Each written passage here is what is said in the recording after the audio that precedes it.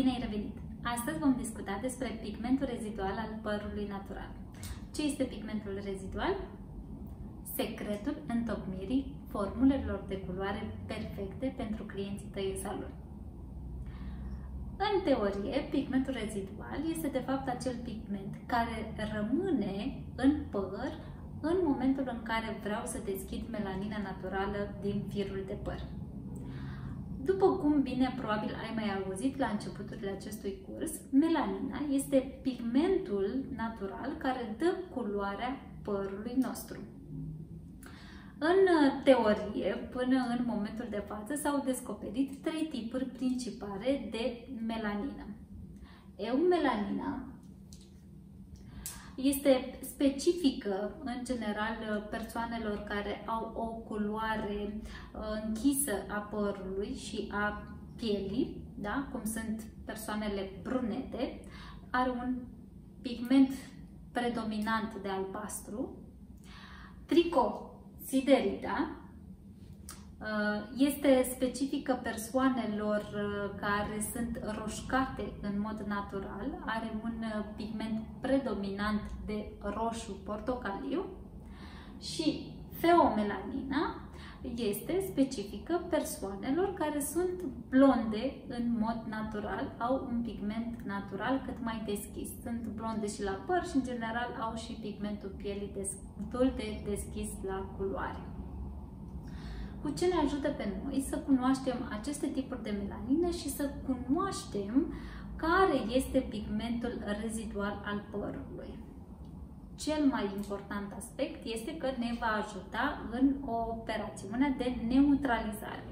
Atunci când dorim să deschidem un păr natural, da, îl vopsim, este o întreaptă închisă și vrem să-l vopsim, să-l deschidem, trebuie să luăm în calcul pigmentul care rămâne în firul de păr și să îl neutralizăm, astfel să uh, obținem culoarea pe care noi ne dorim.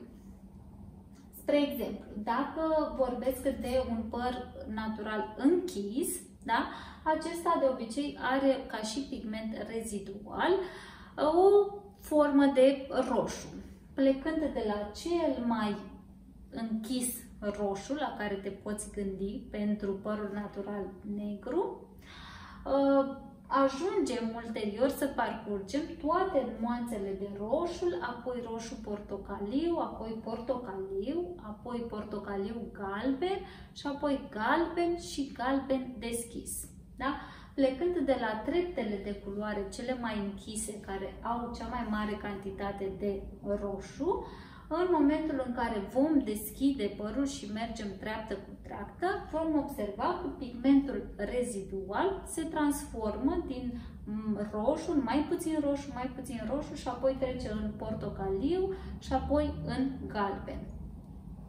Practic, pigmentul rezidual al părului poate să fie de trei feluri. Fie este un pigment rezidual cu mult roșu în el, fie este un pigment rezidual care are mai puțin roșu în el și are și galben și atunci este un pigment portocaliu, fie este un pigment galben. Există de asemenea și un pigment rezidual al părului uh, în momentul în care îl decolorăm, atunci când avem un păr vopsit și dorim să îl decolorăm, să-l deschidem. De asemenea, avem un pigment rezidual, doar că atunci când vorbim de decolorare, tabelul acesta pe care îl vezi tu aici nu pleacă de la un roșu atât de închis, ci de obicei pleacă undeva de la portocaliu spre galben foarte, foarte, foarte deschis, galben foarte pal, atunci când vorbim de bază decolorată 10+. Plus. Da? Bun. Să vedem. Ce mai trebuie să știm atunci când vorbim de pigmentul rezidual și de melanin? După cum bine știi și cum ți-am explicat și mai devreme, există trei tipuri de melanină, albastru, galben și roșu. În momentul în care vrem să deschidem melanina naturală din firul de păr, Ceea ce ne ajută foarte mult să știm este faptul că în deschidere, prima melanină care va pleca va fi melanina de culoare albastră. Albastru, ca și pigment, este pigmentul cel mai puțin stabil în firul de păr și el de obicei se îndepărtează cel mai repede. După albastru urmează melanina de culoare roșie. Cu ea va trebui să ne luptăm un pic, pentru că, după cum bine observ, are foarte multe trepte și foarte multe nuanțe de roșu, după care, la final, cel mai greu și cel mai greu va pleca din firul de păr, feomelanina, respectiv melanina de culoare galbenă.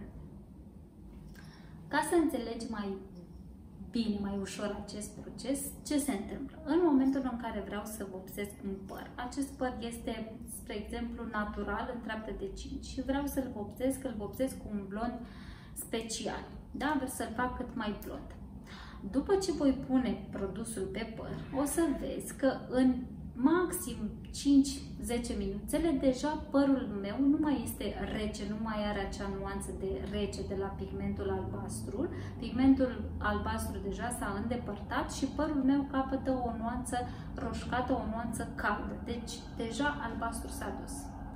După încă vreo 20 de minute o să observ că o mare cantitate din uh, melanina de culoare roșie da, s-a îndepărtat și ea, iar părul meu în momentul de față este galben.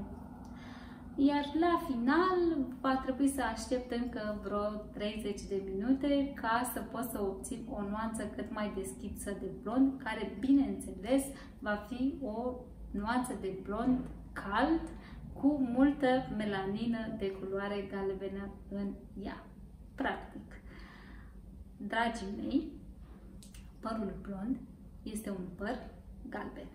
Dacă nu vreau galben în părul meu, va trebui să decolorez acel păr și va trebui să-l decolorez zdravă, să înlătur cât mai multă melanină de culoare galbenă din el. Va trebui să uh, ajung uh, ca și treaptă de deschidere până la un galben foarte, foarte, foarte pal pe care îl voi neutraliza foarte ușor cu un pic de violet și atunci voi obține blondul pe care îl doresc. Până atunci, cam toate nuanțele de blond au în componența lor feomelanin, adică un pigment auriu.